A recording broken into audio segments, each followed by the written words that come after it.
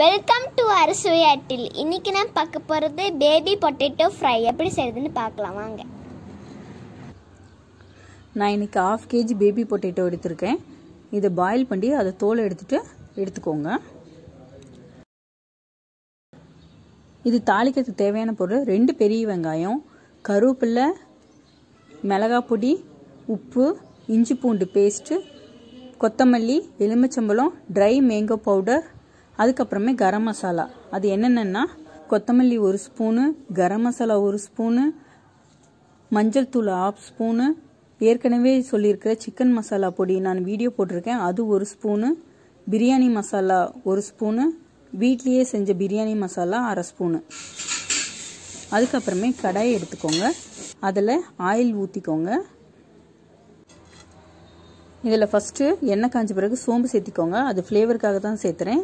அப்போ தான் நல்லாயிருக்கும் டேஸ்ட்டு அதுக்கடுத்து இதில் வரமிளகா பொடி உப்பு கருவேப்பிலை இதை மட்டும் போட்டுட்டு பொட்டேட்டோவை நல்லா ஃப்ரை பண்ணி எடுத்துக்கோங்க. அது எதுக்காக ஃபஸ்ட்டே ஃப்ரை பண்ணி எடுக்கிறேன்னா பேபி பொட்டேட்டோ மேலே நம்ம லாஸ்ட்டாக சேர்த்தனோம்னா அது கொல கொலன்னு ஒரு மாதிரி ஆகும். எண்ணெயில் ஃபஸ்ட்டு ஃப்ரை பண்ணி எடுக்கிறப்ப அது மேலே லேயர் நல்லாயிருக்கும்.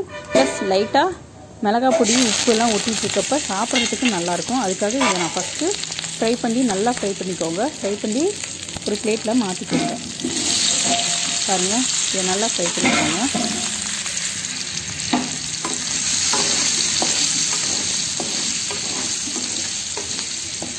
நம்ம இதை எடுத்து வேறு பிளேட்டில் மாற்றிட்டு இந்த பாத்திரத்துலேயே லைட்டாக எண்ணெய் ஊற்றிக்கலாம் அது மசாலா ஊற்றிட்டு இருந்தாலும் ஒன்றும் பிரச்சனை இல்லை. அதுலேயே ஆயில் ஊற்றி நம்ம மறுபடியும் என்னென்ன போடுறோமோ அதெல்லாம் போட்டு வணக்கி எடுத்துக்கலாம்.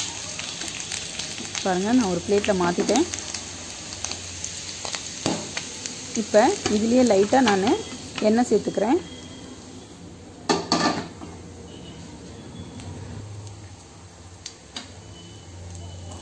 எண்ணெய் நல்லா காயிட்டும். காஞ்ச பிறகு இதில் நான் ஏற்கனவே நறுக்கி வச்சுருக்கிற பெரிய வெங்காயம் இதில் ஆட் பண்ணிக்கிறேன். இதை நல்லா வணக்கி விட்டுக்கோங்க.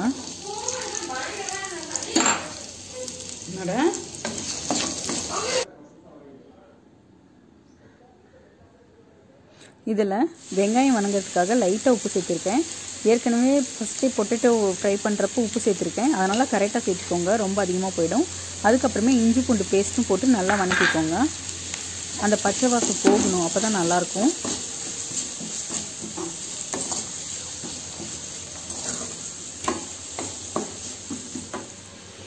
அப்புறமே நம்ம சொன்ன கரம் மசாலா எல்லாத்தையுமே இப்பயே சேர்த்துக்கலாம். இது நல்லா வணக்கணும். இந்த வாசனை தெரியக்கூடாது. பச்சை வாசமே தெரிஞ்சால் நல்லா இருக்காது சாப்பிட்றதுக்கு. இது நல்லா வணக்கி விட்டுட்டு லைட்டாக தண்ணி கூட சேர்த்துக்கோங்க. அப்போ தான் நல்லா அது வேகும்.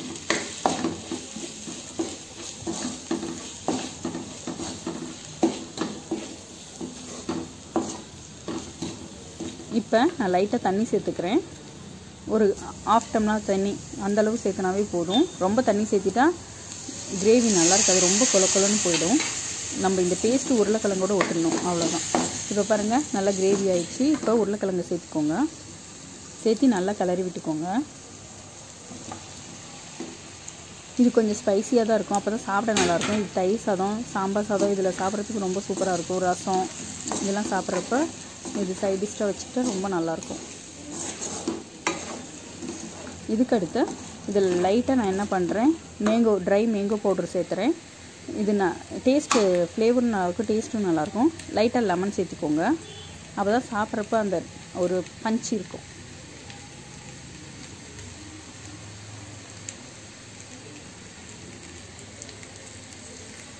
பாருங்கள் ஆல்மோஸ்ட் ரெடி ஆயிடுச்சு. இந்த அந்த பேஸ்ட் ஃபுல்லாகவே அதில் நல்லாவே ஒட்டியிருக்கு. அப்போ தான் நம்ம ஒவ்வொரு பொட்டேட்டோ சாப்பிட்றப்ப அது ஃப்ளேவரு டேஸ்ட்டு எல்லாம் சேர்ந்து சாப்பிட்றப்ப ரொம்ப நல்லாயிருக்கும். லாஸ்ட்டாக கொரியண்டர் கொஞ்சமாக சேர்த்துக்கோங்க.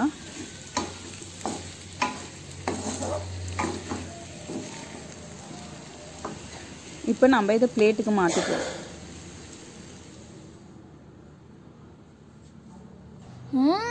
it was so yummy thanks for வாட்சிங்